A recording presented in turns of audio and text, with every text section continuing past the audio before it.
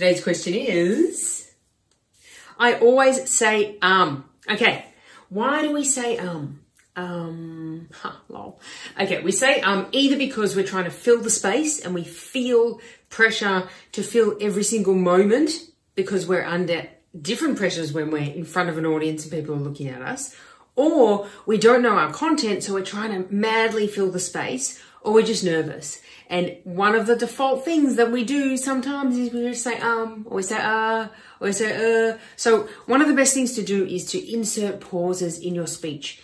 Put in a pause so that you know you're taking a breath and your audience knows you're taking a breath because it means that the chance of you rushing to fill that spot with an um will be much less. Thank you.